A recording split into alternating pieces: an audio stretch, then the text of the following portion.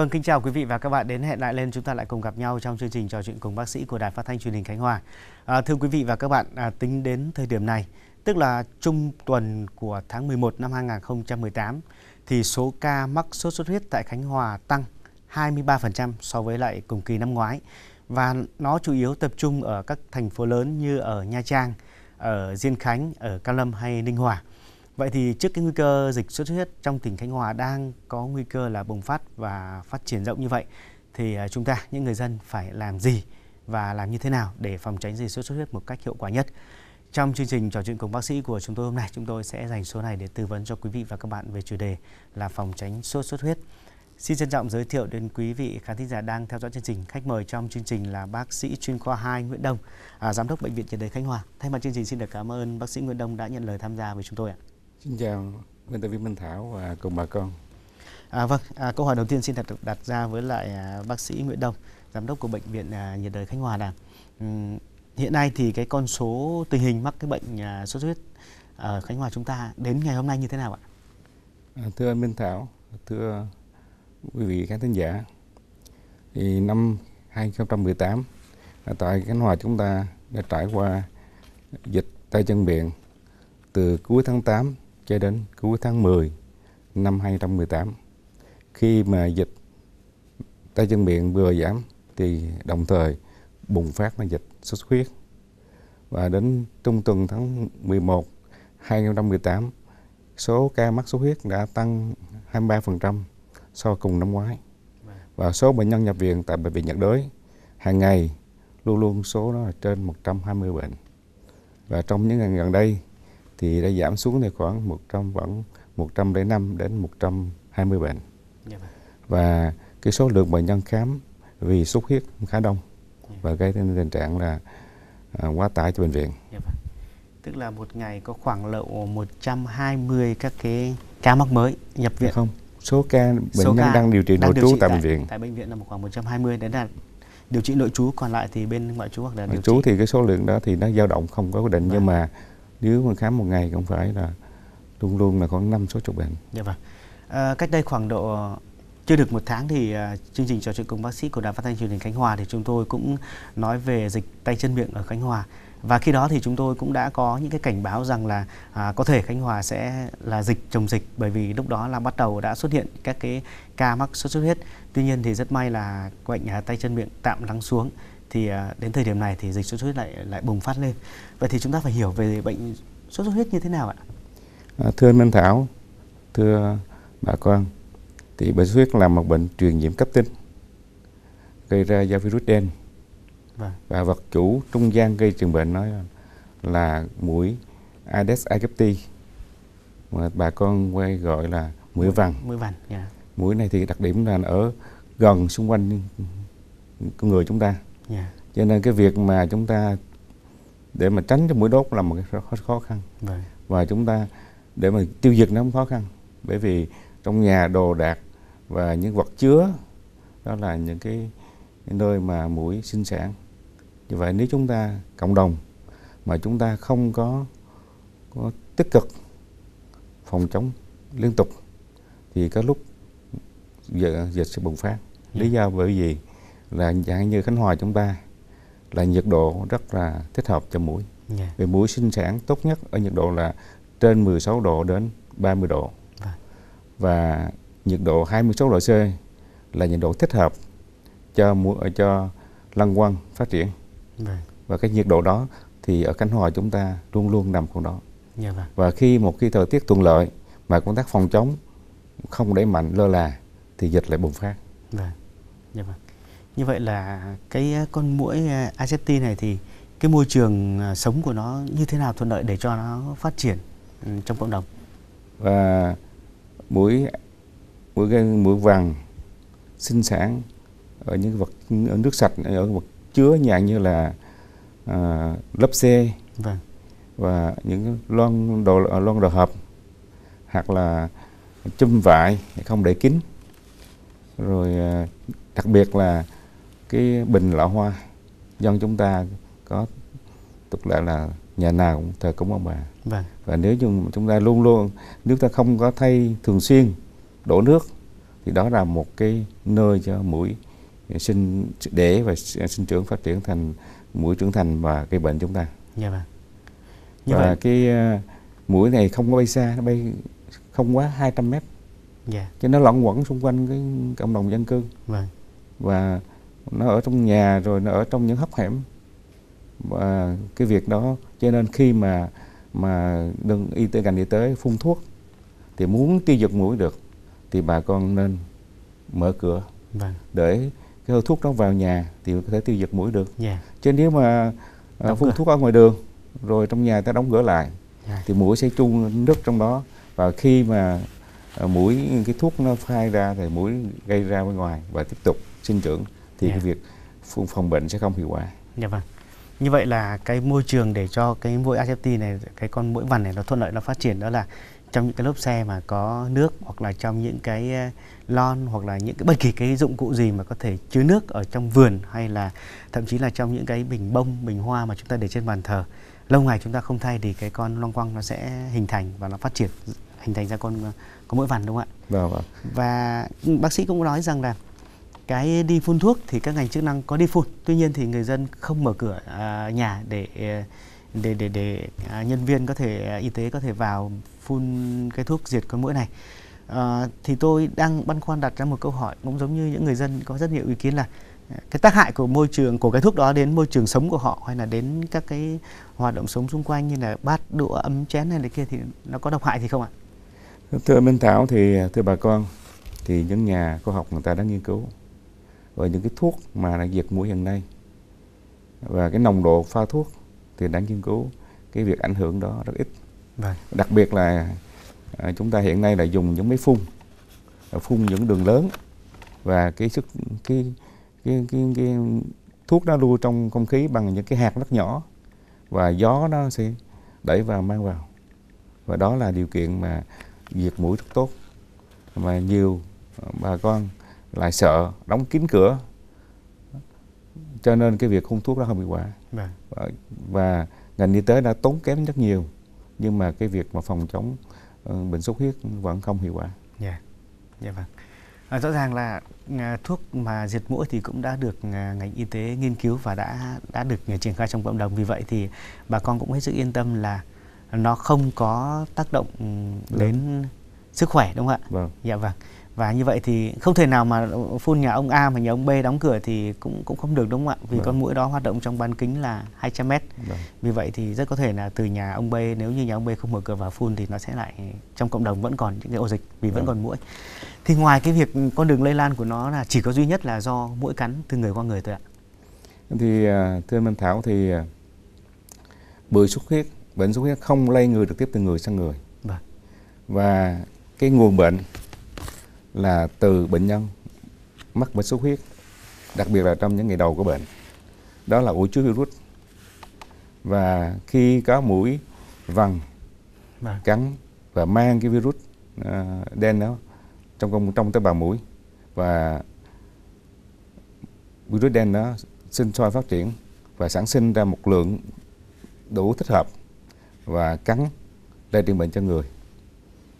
Cho nên nếu mà hai nữa là hiện nay là chúng ta biết rằng một bệnh truyền nhiễm muốn có gây bệnh được nên có ba yếu tố yếu tố thứ nhất là nguồn bệnh Vâng. nguồn bệnh đây là người bị sốt xuất huyết vật chủ trung gian đó là con mũi vằn Vâng. và cơ thể cấm thụ thì hiện nay à, những nhà khoa học trên thế giới đã có nhiều nghiên cứu vẫn chúng ta chưa sản xuất thành công vaccine, vaccine phòng bệnh vâng. sốt huyết yeah. và người ta đi nghiên cứu một hướng mới chẳng như là ở Khánh Hòa chúng ta triển khai đó là thả mũi mang vi khuẩn Wombacha. Yeah. Dạ. Cái ờ, mũi mang vi khuẩn Wombacha thì này nó sẽ lấn át và dần dần nó tiêu diệt mũi Aedes aegypti vâng. và làm cho cái mũi Aedes aegypti nó không còn khả năng uh, lây truyền bệnh xuất huyết. Vâng. Thì chúng ta hy vọng rằng uh, khi nào một thả diện rộng thì cái việc đó sẽ giảm rất là nhiều bệnh nhân xuất huyết chẳng như đảo Trung Nguyên. Ở trước đây đó là một cái ổ dịch. Vâng. và khi nào dịch xuất huyết bùng phát tại Khánh Hòa thì khoa nhiễm bệnh viện đa khoa tỉnh luôn luôn tiếp nhận nhiều ca bệnh xuất huyết ở tại đảo Trí Nguyên. Và cái rất có nhiều trường hợp nặng. Và từ khi thả mũi thì trong 2 năm liền thì không có bệnh nhân nhập viện. Chỉ năm ngoái 2016 có một trường hợp duy nhất đó là một em bé ở đảo Trí Nguyên. Nhưng mà đưa vào sinh sống học trong đất liền yeah. Dạ. thì mắc xuất huyết và hiện nay chúng ta đang tiếp tục nghiên cứu ở đảo ở ngoài Lương Sơn, Vĩnh Lương thì cái số lượng trước đây Lương Sơn Vĩnh Lương cũng là một trọng điểm của dịch xuất huyết nhưng mà gần thả mũi xuất huyết đến nay thì số lượng bệnh nhân nhập viện ở tại bệnh viện nhiệt đới giảm rất nhiều yeah. Vâng. và à, đến gần đây thì cũng không có trường hợp nặng. Yeah. À, đây tôi đang băn khoăn về cái chỗ là có những ý kiến cho rằng như thế này ngay cả trong uh, dân chúng ta cũng nói rằng là tại vì Khánh Hòa năm nào cũng bùng phát dịch là do Khánh Hòa thả cái mũi xuất huyết ra thế thì bác sĩ giải thích xem là à, đã chứng minh rằng là ở Chí Nguyên là một cái ổ dịch mà trước đây là một cái ổ dịch mạnh về sốt xuất huyết tuy nhiên từ khi mà thả cái con mũi uh, sốt huyết ra đúng không ạ yeah. Dạ. thì uh, số lượng bệnh nhân đã giảm hẳn Vâng. Thì bác sĩ giải thích nó rõ hơn xem là cái con mũi đó nó có tác động như thế nào tới cái con mũi mà mũi vằn gây ra sốt xuất huyết thật ạ. Nó khiến cho cái số lượng mà cái cái cái cái độc tố của sốt xuất huyết nó không có được lây lan từ con mũi đó. Như tôi đã nói phần trình bày trên là cái vật chủ trung gian để mà lây truyền bệnh xuất huyết là mũi và vâng.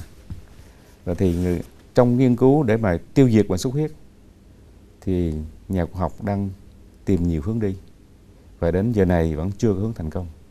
Thì người ta nghĩ tới một cái chuyện đó là tiêu diệt vật chủ trung gian hoặc là vật chủ trung gian đó nó không còn khả năng lây bệnh. À. thì hiện nay đó là đặt Monad của úc để nghiên cứu đó và đã thí nghiệm nhiều thành phố trên thế giới đặc biệt là những cái nước mà khí hậu nhiệt đới như chúng ta. À. và được sự cho phép của chính phủ Việt Nam và tỉnh ủy ban nhân tỉnh Khánh Hòa. Chúng ta đã thử nghiệm tại trại Trung Nguyên thì trong thời gian qua để giám sát trong nhiều tháng năm qua thì từ tháng mũi đến giờ thì không có bệnh nhân mắc sốt huyết ở đảo Trấn Nguyên và nhập viện ở tại bệnh viện nhiệt đới. À. và chúng ta tiếp tục à, nghiên cứu giám sát tiếp ở lương, ở lương sơn. Và nếu chúng ta thành công nữa thì hy vọng sẽ có nhiều địa phương trong tỉnh chúng ta sẽ được dự án tài trợ để thả mũi.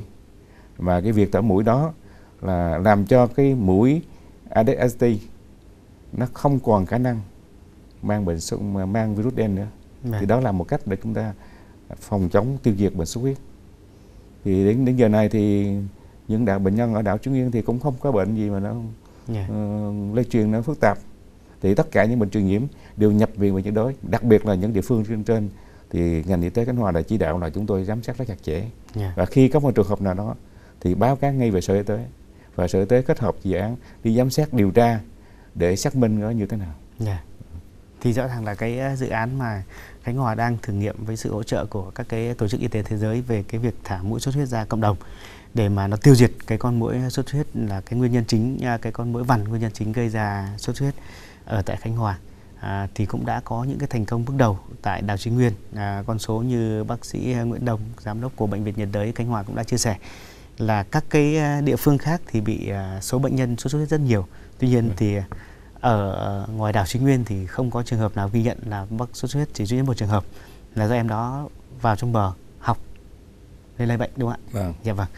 Uhm, cũng có một cái băn khoăn nữa tôi cũng muốn được hỏi thêm là rõ ràng là các công tác này các cơ quan ban ngành tuyên truyền rồi à, tập huấn phòng chống sốt xuất huyết năm nào cũng được triển khai tháng nào cũng được à, nhắc nhở đi nhắc nhở lại rất là nhiều lần tuy nhiên thì dịch sốt xuất huyết ở khánh hòa năm nào cũng đến thời điểm nó vẫn cứ bùng phát ạ không hiểu nguyên nhân còn từ đâu nữa à, thưa anh Minh Thảo thưa bà con như tôi nói trình bày phần trên thì sốt huyết nó mang lại gánh nặng cho xã hội và đặc biệt ở Khánh Hòa chúng ta Ủy ban nhân tỉnh rất quan tâm và các sự vào cuộc của hệ thống chính trị, đặc biệt là các tổ chức đoàn thể, chính quyền địa phương.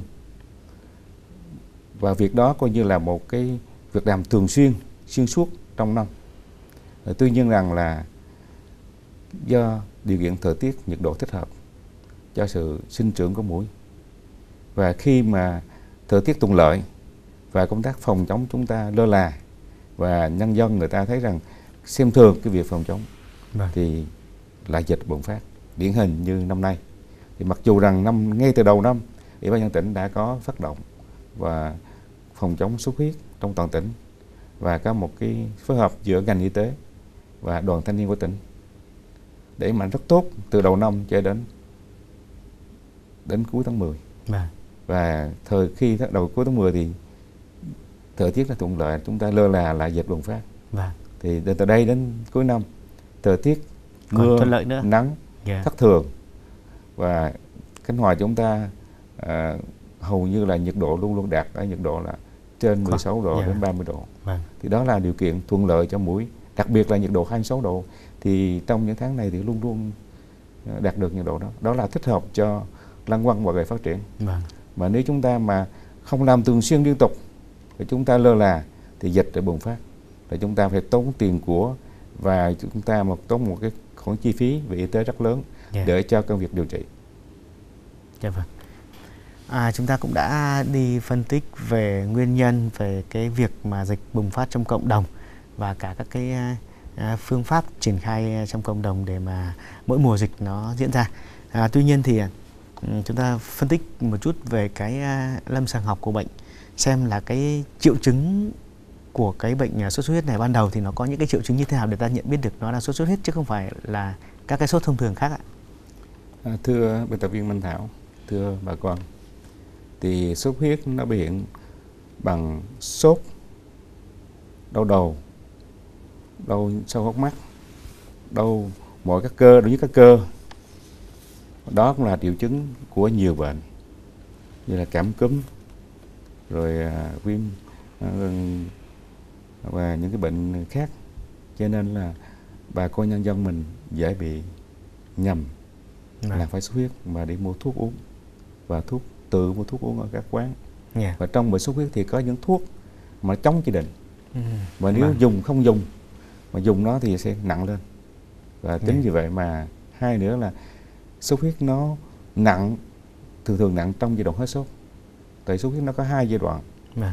à, giai đoạn ba giai đoạn giai đoạn thứ nhất là sốt thứ hai là giai đoạn nguy hiểm vâng. và giai đoạn hồi phục và thường thường là những ngày đầu sốt bà con mà lại rất là quan tâm đi mua thuốc nên là uống mà khi đến giai đoạn nguy hiểm là nó hết sốt vâng. thì bà con tưởng đâu là bệnh ổn rồi yeah. Dạ. là nó diễn biến nặng thì tất cả trường hợp nặng đến viện tử vong là do chúng ta nhầm lẫn bởi sốt huyết với những bệnh khác bởi vì bệnh nó rất là nhức sốt thì, thì đủ bệnh cái sốt cả vâng. và đâu nhất mình mẩy thì có nhiều bệnh nó cũng giống vậy cho nên ờ, chúng ta chủ quan lơ là yeah. Dạ. và cái việc mà muốn hạn chế tử vong thì cái việc mà trong mùa dịch sốt huyết lưu hành khi có sốt thì tốt nhất bà con nên đến cơ sở y tế gần nhất khám và xét nghiệm để chẩn đoán sốt huyết. Này. Và thường thường hiện nay chúng ta ngành y tế Khánh Hòa chỉ đạo cho tất cả các sở y tế uh, là đưa qua xét nghiệm để mà NH1 là những ngày đầu của bệnh để việc sàng lọc ra bệnh nhân sốt huyết hay không. Hầu như cơ sở y tế uh, từ phòng khám các bệnh viện uh, đều làm được hết vâng. thì cái phần khám loại trừ sốt huyết không tức là khám huyết. khám sàng lọc ngay từ ban đầu ngay từ đầu vâng. thì ngành y tế có lời khuyên hướng dẫn có thể rằng sốt huyết thì đại đa số là nó không có nặng không tỷ lệ nặng là 31% thôi vâng. và nhưng được ngay chẩn đoán ngay từ đầu và có cái hướng dẫn theo dõi ở nhà và khi nào có dấu hiệu đó nặng đưa đến viện thì cái việc đó sẽ cứu chữa thành công yeah. Dạ. và tất cả những ca mà tử vong từ trước đến giờ hầu như chúng ta đều cho bà con là tự mua thuốc ở nhà. Rồi đặc biệt là xuất huyết chúng nay chỉ đạo bộ y tế là không tự truyền dịch ở nhà. Ừ, yeah. à, bởi vì chúng tôi đã có một cái tổng kết. Tất cả những cái bị khi mà giai đoạn mà sốt mà chúng ta truyền dịch sớm như vậy thường thường là sau khi mà nó sốc thật sự thì rất là nặng. Yeah, và yeah. như trường hợp đó là tử vong. Cho nên là ngành y tế đã có một cái chỉ đạo là tất cả cơ sở y tế đều thể tuân thủ phát đồ quy định của bộ y tế và cái việc xử lý đó nó theo phát đồ yeah. và nếu chúng ta nhân dân uh, hiểu và sự chấp hành triệt để quy định của ngành y tế thì có lẽ rằng xuất huyết chúng ta sẽ có tử tử vong mức độ thấp nhất. Dạ vâng. Tức là cái à, cái cái khi mà có những cái triệu chứng nghi ngờ về sốt mà không rõ nguyên nhân từ đâu thì cần phải đến các cơ sở y tế mà bây giờ thì các cơ sở y tế từ xã phường cho đến các cái uh, trung tâm y tế của huyện của tỉnh và bệnh viện thì cũng đã có cái khám sàng lọc ngay từ ban đầu vâng. để phân loại được ừ, các cái uh, dịch sốt xuất huyết và các cái sốt thông thường khác đúng không ạ? Yeah. Dạ. À, thì cái diễn tiến của cái sốt xuất huyết này nếu như mà nó con mũi đó nó từ lúc mà nó bắt đầu trích ra nó đưa cái nguồn sốt xuất huyết vào trong người thì nó có cái diễn tiến trong bao nhiêu thời gian ạ? Thì thưa anh Minh Thảo thì từ lúc trứng mũi để ra trứng và trở thành trứng phát triển thành lăng quăng bờ gậy lăng quăng bờ gậy và mũi non và mũi trưởng thành. Trong vòng từ 10 đến 15 ngày riêng mũi cái có thời gian ngắn hơn. Và, và chính về cái thời gian đó mà à, khi mà mũi cắn một bệnh nhân à, bị bệnh xuất huyết và vào thì cái mũi cái virus nó đen nó sẽ sinh sôi nảy nở và sản sinh lượng đủ nó cắn cho cho cho cho cho người bệnh thì vâng. thời gian bệnh nó khoảng 10 đến 15 ngày. À. Vâng. Tức là từ lúc mà bị mũi đốt, mũi, mũi xuất huyết đốt cho đến lúc mà hết bệnh. Dạ vâng. Thì là trong khoảng 15 ngày. 10 đến 15 ngày. Và nó chia ra các cái giai đoạn như thế nào ạ? Giai đoạn nào Thì nó chia làm 3 giai đoạn. 3 giai đoạn. Giai đoạn là thứ nhất là ủ bệnh ạ. Thì thứ nhất là Ủa, trong thời gian ủ bệnh thì chúng ta không biết hoàn toàn. À không, không biết, giai đoạn ủ bệnh là chưa có. Không không biết. Vâng. Bởi phải phát là một cái sốt. Vâng. À, sốt rồi đến giai đoạn là, nguy hiểm là giai đoạn có thể đưa đến là sốc yeah. và xuất huyết vâng. à, và giai đoạn hồi phục mà giai đoạn sốc xuất huyết đòi hỏi phải can thiệp ở một cái bệnh viện à, có đủ điều kiện phương tiện yeah. mới xử lý được yeah. và thì nhiều đại đa số là bệnh nhân là là lành tính tức là có thể sốt sau đó uống nước no nghỉ ngơi tự khỏi yeah. và còn tỷ lệ ba bốn mươi phần trăm là nặng. Thế là cái giai đoạn mà sốt ly bì mà sốt nặng nhất ấy, là trong khoảng mấy ngày? 3 ngày 3 đến 5 ngày 3 năm ngày thôi. Dạ vâng khoảng 3 đến 5 ngày. Vâng. là cái giai đoạn sốt ly bì là mệt thì nhất khi đó là cần thứ nhất là xác định đó là sốt huyết hay không.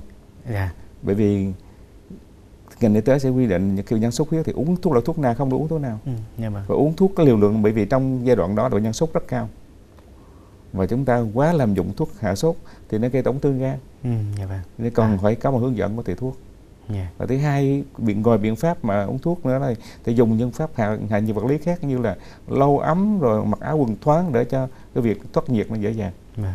Và bệnh nhân cần phải uống nước nhiều và nghỉ ngơi yeah. để cho tránh mất nước và yeah.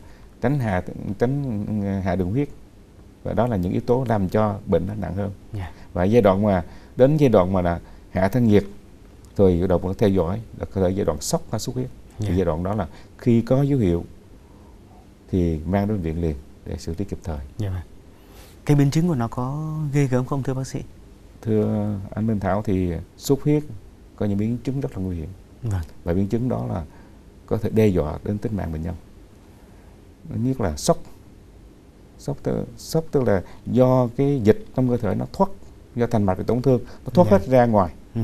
trong bụng trong phổi và làm cho cái khối lượng tuần hoàn trong cơ thể nó giảm xuống. Vâng cho nên máu sẽ đi đến nuôi các cơ quan không đủ và gây thiếu máu các cơ quan và tình trạng này nếu chúng ta không bồi hoàn cái lượng dịch nó mất và bằng lượng dịch thích hợp vâng. thì đưa đến hậu quả là sốc kéo dài à. và suy tạng cái việc mà cứu chữa này rất khó khăn khó và tốn kém rất nhiều yeah. nguyên nhân thứ hai là xuất huyết huyết thì đơn giản là chỉ máu mũi máu răng rồi uh, ngoài da. trong kinh chỉ ngoài yeah. da vâng. và một cái chút nguy hiểm đó là huyết não yeah. Dạ. nó có một tỷ lệ khoảng 10% là có xuất não cho nên là những cái đó thì đòi hỏi phải ở đơn vị y tế có thể xét nghiệm chẩn đoán và đưa các chế phẩm có máu vào để làm cho máu nó cầm lại yeah. Dạ. chứ không thì không có thể cứu chữa được dạ vâng như vậy là Đúng. Ngoài ra là có một biến chứng nữa là biến chứng viêm cơ tim yeah. Dạ. viêm cơ tim trong xuất huyết cũng đó là một cái khó khăn cho ngành y tế nhưng trường hợp này thì bệnh nhân sốc không phải là do thiếu dịch không phải do thoát dịch mà virus nó làm tổn thương cơ tim vâng. thì khi đó bệnh viện cũng phải phối hợp với các đơn vị chuyên khoa để mà thể cứu sống bệnh nhân được yeah. Dạ. Dạ vâng, như vậy thì cái cái biến chứng của bệnh cũng không hề đơn giản đúng không ạ? Cũng vâng. rất là nguy hiểm. Đặc biệt là đối với các cái người bệnh mà đã có những cái mầm bệnh khác ở trong người đúng không ạ? Vâng. Thì cái bị sốt xuất huyết còn nguy hiểm hơn. À, một cái nữa là cái sốt xuất huyết thì nó có tái phát không ạ? À, thưa anh Minh Thảo, thì chúng ta có virus đen có bốn tiếp. Đen 1, đen 2, đen 3, đen 4. Yeah. Và cái bốn tiếp đó nó không hề miễn dịch chéo tức bị là tiếp một thì sẽ bị tức là bị mắc tiếp một thì cũng có thể mắc tiếp hai. Yeah. và khi mắc tiếp hai như vậy thì nó sẽ nặng hơn những à. người mà mới mắc tiếp hai. À dạ dạ. À, cho nên cái đó là cái khó cho cái việc mà phòng bệnh. Vâng. Và thứ hai nữa là cái việc sản xuất vaccine rất khó khăn. Yeah. nó bốn tiếp cho nên nó là xuất huyết đã không có miễn dịch. Và một bốn tiếp đen 1 đến 2 đến 4 nó có thể lưu hành song song uh, với một lúc yeah. Dạ. hoặc là nó lưu hành là tiếp 1 tiếp 2 yeah. Đó. thì như vậy thì người bị tiếp 1 mới vừa khỏi thì cả tuần lễ người sau có thể bị Lại nữa bị, tiếp 2 tiếp 2 vâng mà như vậy bị thì nó nặng hơn yeah. Dạ. mọi người mở mở mắt yeah. như vậy thì uh, quý vị cũng hết sức lưu ý đúng không ạ là chúng ta không chủ quan nha à, chúng ta bị uh, sốt xuất huyết rồi chúng ta có thể bị tái, tái phát lại là do chúng ta bị cái tiếp khác nó có đến 4 loại tiếp à, à, gây bệnh à, sốt xuất huyết và à, chúng ta bị tiếp 1 thì có thể bị tiếp 2 hoặc tiếp 3 hoặc tiếp 4. Vì vậy cái công tác phòng tránh là hết sức quan trọng đúng không ạ? Vâng. À, thì cái à, điều trị thì bác sĩ Nguyễn Đông cũng đã nói rồi là hiện nay thì không có thuốc điều trị đặc trị đúng không ạ? Vâng, vâng. Vaccine thì cũng chưa, chưa có vaccine dự phòng. Thế thì cái công tác phòng tránh phải đặt lên hàng đầu rồi ạ. Phòng tránh như thế nào ạ? À, thưa anh Minh Thảo, thì giống như tôi, tôi nói trình bày phần trên, một bệnh truyền nhiễm mà chúng ta muốn nó muốn gây bệnh hoặc là muốn uh, phòng chống dập tắt dịch thì ở đó nó ba khâu vâng. khâu tức là nguồn bệnh nguồn bệnh tức là người bệnh bị nhiễm bị mắc bệnh xuất huyết trong những ngày đầu đó là ổ chứa virus và thứ hai nữa yeah. Dạ. là mũi vằn cắn để mà cắn người lành yeah. Dạ. và khâu thứ ba là chúng ta chưa tạo được cái một miễn dịch bởi vì ta chưa sản xuất vaccine vâng. như vậy thì bây giờ để phòng bệnh xuất huyết thì việc thứ nhất là chúng ta cách ly những người bệnh xuất huyết những ngày đầu chẳng yeah. Dạ. như là tỉnh chúng ta chủ trương thành lập bệnh nhiệt đới ở xa trung tâm của Nha Trang đúng à. là vâng. là một cách tức là cách à, cái nguồn bệnh cách nguồn bệnh yeah. Dạ. bởi vì thành phố Nha Trang là du lịch mà chúng ta nếu mà cái ổ bệnh cái nằm cái khoa nhiễm nằm đó thì thì ổ bệnh ở đó cái nguồn bệnh đó rồi mũi à. cắn và nó lây ra, ra như xung quanh và đồng gây với du khách yeah. và thứ hai nữa là hạn chế mũi đốt bằng cách là gì mũi vằn nó cắn trong thời gian 6 giờ sáng đến 20 giờ đêm. Một ngày 6, là chính 6, tức là ban ngày đấy ban ngày là chính sáng 20 giờ đêm. Vâng. à, cho nên là người ta chủ quan ban đêm cục mùng ban ngày em cục mùng chính ngủ không cục mùng lại mũi cắn. Đó, cho nên đó là chúng ta cũng thay đổi cái nhận thức. Tức là cái con mũi gây bệnh sốt xuất huyết nó không hoạt động nó ít hoạt động về đêm. Ban đêm. Vâng. Ban ngày là chủ yếu. Ban ngày là chính yeah. thứ ba như vậy thì chúng ta có thể là à, hạn chế mũi đốt bằng cách là nằm mang và ngủ ngay cũng bằng nằm mang vâng. Thứ hai nữa là uh, tiêu dùng những dụng cụ đi giật mũi và như đây chúng ta có cái vợt bắt mũi vâng.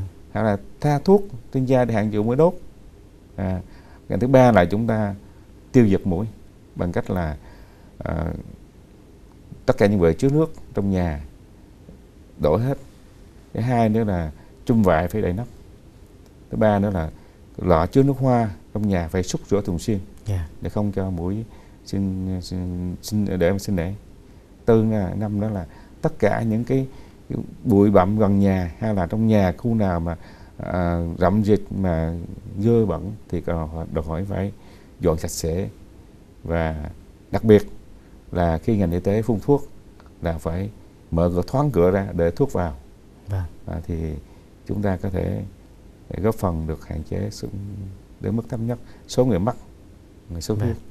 Dạ vâng. À, cái này nữa cũng cần phải bác sĩ cho lời khuyên này là nếu như trong gia đình mà có một người bị sốt xuất huyết rồi thì làm sao để nó không bị lây lan sang những người khác trong gia đình? Theo như tôi nói là người bệnh sốt huyết nó không lây trực tiếp từ người sang người. Vâng. nó quay qua một vật chủ trung gian đó là mũi vằn con mũi như vậy thì trong nhà mà có người sốt huyết chứng tỏ rằng trong nhà có mũi vằn rồi. Thì đòi hỏi phải đẩy mạnh biện pháp là, là giật mũi vâng. và hạn chế mũi đốt và thứ ba nữa là cũng uh, cũng cũng hạn giữ cái người mà bị sốt huyết là ngủ chăn ngủ bung để cho khỏi bị mũi đốt nó lây người khác yeah. Dạ. và trong thì đặc biệt là trong những ngày đầu của bệnh thì ngày đầu của bệnh là ổ chứa virus Đấy, cho nên yeah. là chúng ta nếu ta hiểu được vấn đề này thì chúng ta phòng bệnh nó dễ dàng không phải là yeah. chúng ta quá hoảng sợ dạ vâng vâng dạ Vâng, à, thưa quý vị và các bạn, à, trước cái nguy cơ mà dịch sốt xuất huyết của Khánh Hòa đang bùng phát như hiện nay thì à, cùng với những lời khuyên của bác sĩ chuyên khoa 2 Nguyễn Đông, à, giám đốc của bệnh viện nhiệt đới Khánh Hòa à, đã cho chúng ta thêm rất là nhiều những cái thông tin à, và các cái kỹ năng về cái việc chúng ta phòng tránh à, được cái sốt xuất huyết cho chính mình à, cho gia đình mình và cho cả cái khu phố hàng xóm cộng đồng xung quanh nữa đó là bằng cách là không có bọ gậy không có long quăng không có con mũi vằn thì không có sốt xuất huyết đúng không ạ ừ. và chúng ta diệt được con mũi vằn diệt được bọ gậy diệt được long quăng diệt được con mũi vằn đó thì không có dịch sốt xuất huyết. Và đấy cũng là những thông điệp mà chúng tôi muốn gửi đến quý vị và các bạn. Chúng ta phải làm sao bằng mọi cách à, làm sao diệt được à, con mũi vằn đó thì chúng ta sẽ không có dịch bệnh sốt xuất huyết. Và thời lượng dành cho buổi tư vấn trò chuyện cùng bác sĩ của chúng tôi hôm nay đến đây cũng đã hết. Một lần nữa thì thay mặt chương trình xin được cảm ơn bác sĩ chuyên khoa 2 Nguyễn Đồng, giám đốc bệnh viện nhiệt đới Khánh Hòa đã cho chúng tôi những thông tin hết sức bổ ích ạ. Chào bà con. Dạ vâng, à, xin chào và hẹn gặp lại quý vị và các bạn vào à, 10 giờ sáng thứ bảy tiếp theo thì chúng tôi sẽ à, nói về với quý vị và các bạn về chủ đề là sốt xuất huyết và thai phụ.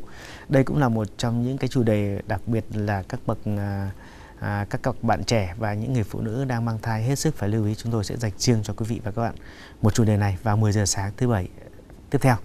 Do vậy thì à, ngay từ bây giờ quý vị và các bạn có thể gửi các câu hỏi của mình qua địa chỉ email của chúng tôi là trò chuyện cùng bác sĩ a gmail.com. Còn bây giờ xin chào và hẹn gặp lại quý vị và các bạn vào tuần sau.